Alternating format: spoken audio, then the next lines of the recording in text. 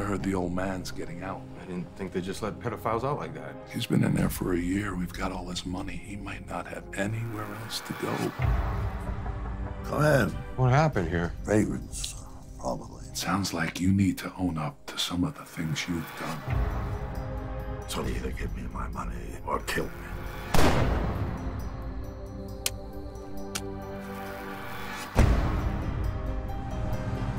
Sorry, sir. You're not supposed to be here. I'm Agent Hudson with the SIB. The victim's a 70-year-old male, no next of kin. There was a vehicle seen leaving a few nights ago. Oh, Lloyd's dead. How did it happen? He was shot in the head.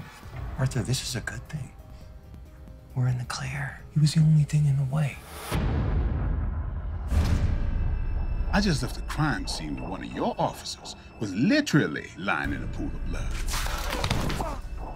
I'm not sure how you do things around here, but I'm starting to get the idea. The likelihood of finding any usable evidence is faint at best. Did you kill Lloyd Mickey? No, can't say I'm gonna be of much help to you neither. I could work with that.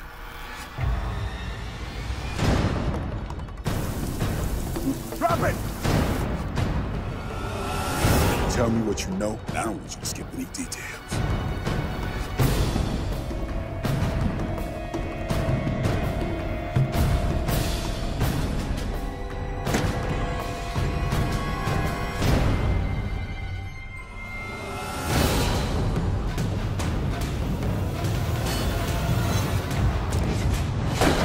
Trying to solve a murder.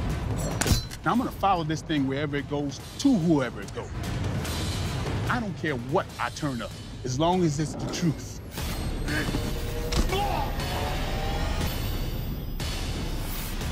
There was a real murder here. It looks like I'm the only one trying to get to the bottom.